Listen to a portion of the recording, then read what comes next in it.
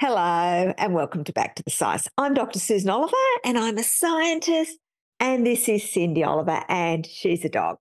And yes, we're still on the floor, but hopefully that shall be changing very soon. A couple of weeks ago, when we were also on the floor, we made a video about a clip from the Australian Senate inquiry into excess deaths that was being shared by anti vaxxers. The video featured an Australian doctor who was talking absolute bollocks about the Pfizer trial. And in the video, Cindy and I explained why she was talking bollocks. But there were a lot of other interactions during the Senate inquiry that haven't gone viral. If I was to guess why, I would say it's because they didn't show what the anti vaxxers were hoping. These interactions start with an anti vax senator asking what they think is a gotcha question, followed by an answer that makes it clear that they didn't get the gotcha they were hoping for. So, in this video, Cindy and I will show you a few of these clips and add a little bit of extra stuff to it as well. Reality is, is that temporal association is a significant indicator of causation, uh, and within that, time frame there, you've said that it's not unusual for deaths to jump around May.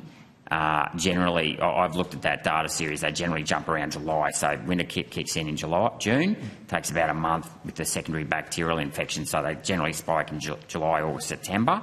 But the significant thing about the jump in deaths was this jumped in May, the month after the vaccine rollout. Deaths jumped, spiked all cause mortality, that is, blunt that it is. Uh, and then it basically went through for the next two years. So there was no se seasonal variance.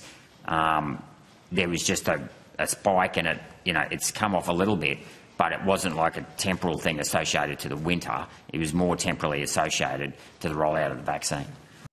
Ooh, that certainly sounds like a gotcha. Let's have a listen to the answer. As you noted, I'm a time series person, so I don't want yeah. to disparage the power of time series analysis. I think it's very powerful. Um, in terms of um, the exact example that, that, you're talking about, let's say the, um, the rise in mortality in May of 21. 2021, um, if you took uh, any given year um, over the last 10 years, it's very likely that you will see an increase in May compared to April.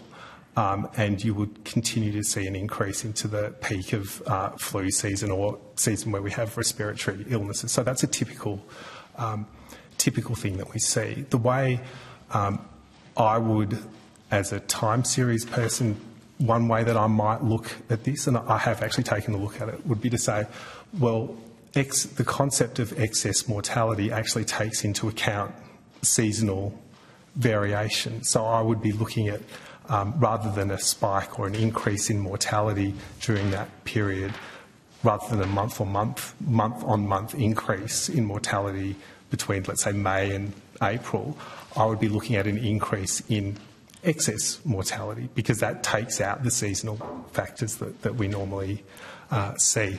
And but isn't that agreeing with what I just said, where we've just had a, a, a big jump and it hasn't really come off at all? So, well, well to, to, give some numbers, which I think are quite uh, useful, um, th these numbers are based on uh, the ABS weekly reports, and the, the challenge with the ABS weekly mortality numbers is it's hard to align them directly with a month, but doing my best to do that. If you look at um, excess mortality in 2021, uh, between January and April, that was running at 1.9%.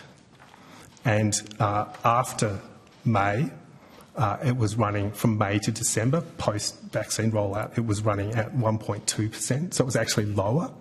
Um, we have as well talked about potential reasons for higher mortality in 2021, and one of those uh, reasons is the concept of death displacement, which we would um, expect to see, particularly coming off the back of a relatively low mortality year in 2020, indeed one that had negative excess mortality.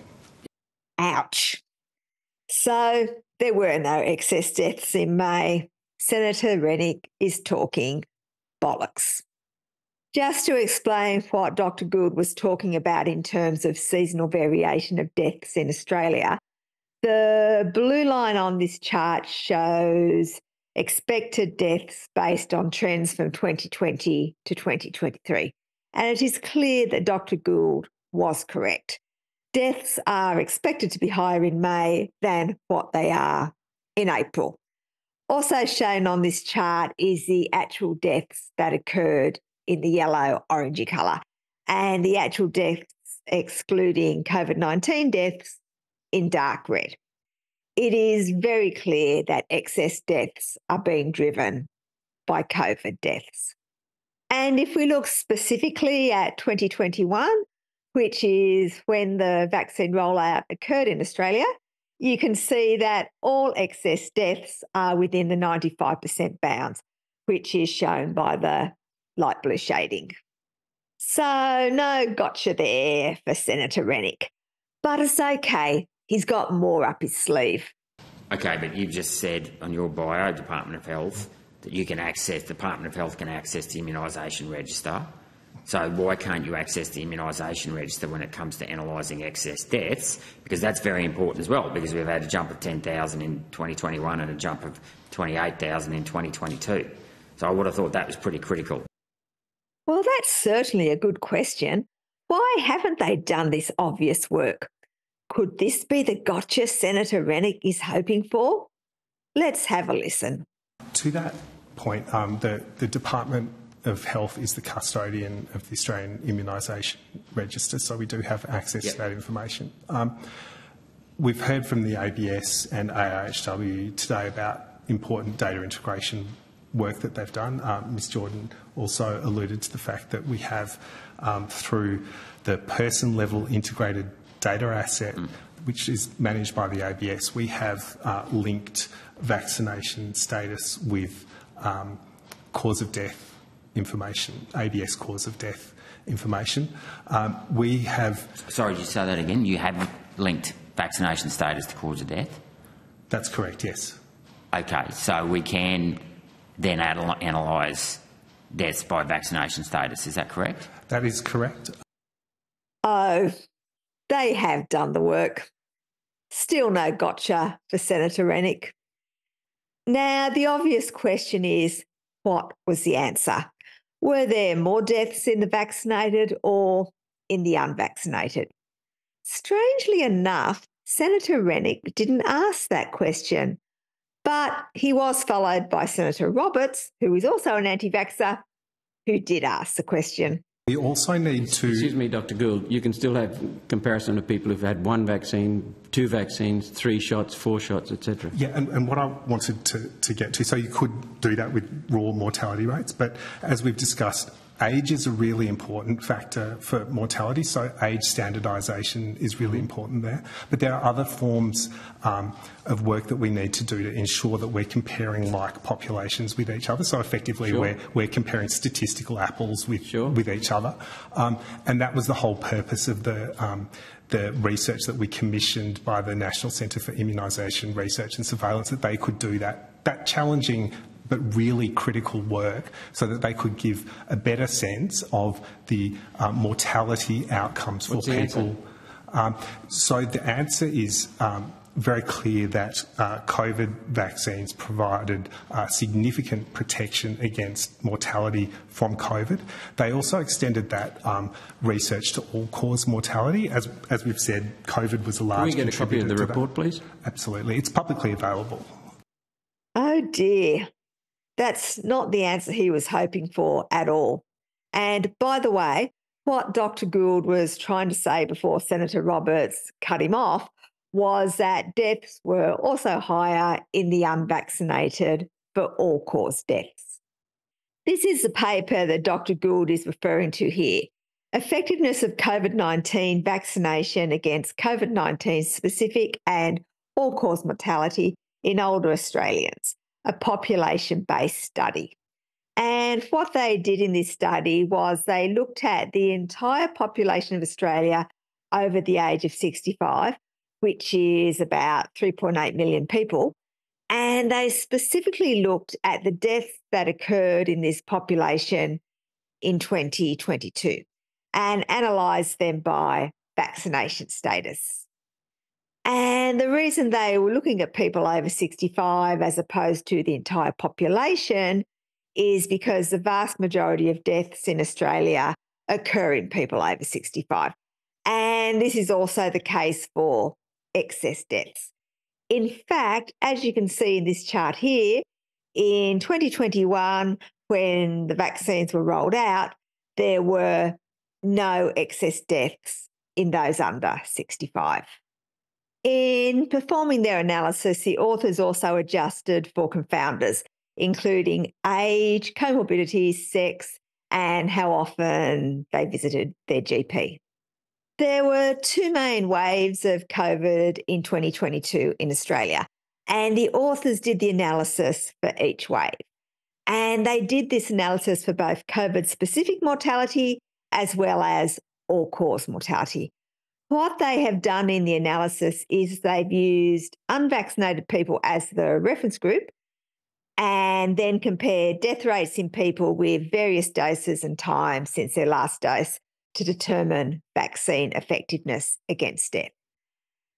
As you can see, you were much less likely to die from COVID if you were vaccinated. And the benefit was greater if you had been vaccinated in the last six months. A similar pattern was also seen for all cause mortality.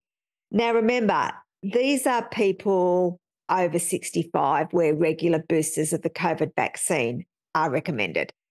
Generally, younger people with robust immune systems don't require frequent bo- boosters to be protected from COVID death, despite anti vax morons continually saying, get your booster in the mistaken belief that it's a devastating insult.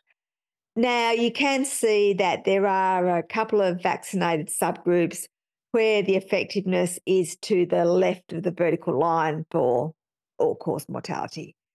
The authors do explain this. And I'll just read out for you what they've said.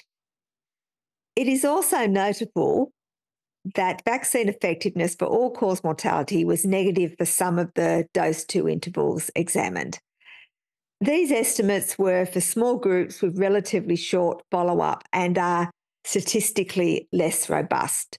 They were also unusual in that they represented people who either completed their primary vaccine course over a year later than when they would have been eligible, June to November period, or had their primary vaccine course early in the program, but no booster, January to May period. We hypothesize that they are predominantly individuals who may have serious health conditions, meaning they were unable to have primary vaccination until very late or unable to be subsequently vaccinated. And this may explain their increased risk of death as well as looking at all Australians aged over 65. The authors also looked at Australians who are living in aged care. And again, they saw the same pattern of COVID vaccination being associated with decreased COVID specific mortality and decreased all cause mortality. And again, there was some waning in effectiveness after six months. And this is important because thanks to the efforts of anti vaxxers, not everyone who should be getting regular booster doses of COVID vaccine are doing so. By lying about the effects of vaccines, anti vaxxers are killing people. The authors also looked at specific causes of death by vaccination status, including some types of death that anti vaxxers like to pin on vaccines. In all cases, the vaccinated fared better than the unvaccinated. In particular, ischemic heart disease and cancer, which anti vaxxers often like to talk about and attempt to link to vaccination, were actually less likely to occur in vaccinated people.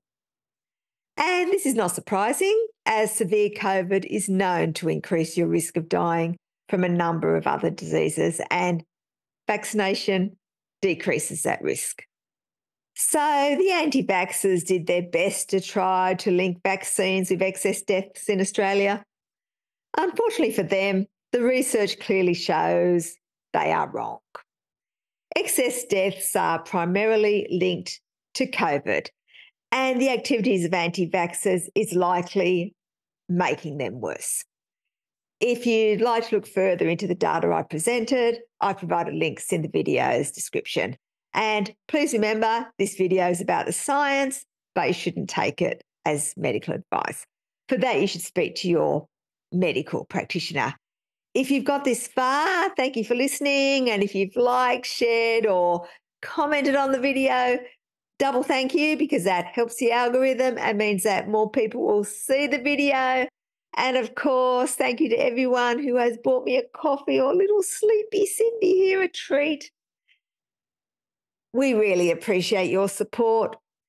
We will be continuing to make videos about the science in the future, and we will be making them sitting on my new couch. Well, it's not a new couch, it's my old couch recovered. So if you'd like to join the cool kids and stay informed, please hit the subscribe button. Thank you.